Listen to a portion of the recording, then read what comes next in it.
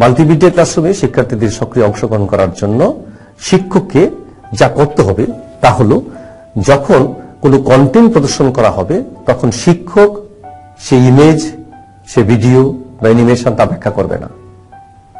এবং শিক্ষক যে চেষ্টাটা করবে শিক্ষার্থীদের দিয়ে সেই ইমেজে কি দেখা যাচ্ছে, কি বোঝা যাচ্ছে, সেটি সেটি বের করে আনার চেষ্টা করা হবে।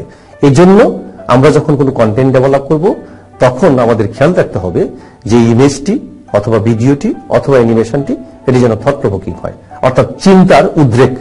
শিক্ষার্থীদেরকে শিক্ষার্থীরা যেন চিন্তা করার সুযোগ সুযোগ থাকে এবং সেটি ব্যবহার করতে হবে।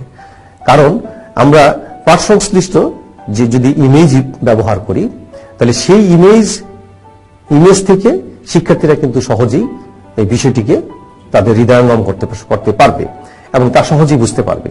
আমরা কিন্তু এমনও কিছু পারি যে শিক্ষার্থীদের সক্রিয় অংশগ্রহণ করার- জন্য।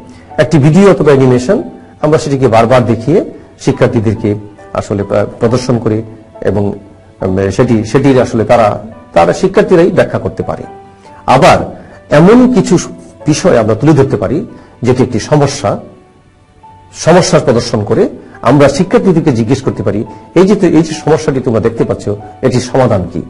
এবং এটির জন্য আসলে আমাদের করণীয় কি? আমাদের এটি প্রতিকারের উপায় কি? এই বিষয়গুলি কিন্তু শিক্ষার্থীদেরকে দিয়ে আসলে সহজেই মাল্টিমিডিয়া ক্লাসরুমে করানো সম্ভব। এবং এইভাবে যদি আমরা শিক্ষার্থীদেরকে সক্রিয় অংশগ্রহণ করতে করাতে পারি, তাহলে শিক্ষার্থীরা পাঠে পাঠে তারা আনন্দ পাবে এবং এই পাঠটি কার্যকর হবে এবং তার জন্য তাকে যে আমরা যে রুট লার্নিং থেকে বের করে নিয়ে আসতে চাচ্ছি, অর্থাৎ মুখস্থ বিদ্যা থেকে যে বের করে নিয়ে আসতে চাচ্ছি, সেটা কিন্তু খুব সহজেই সম্ভব। ধন্যবাদ আপনাদের সবাইকে।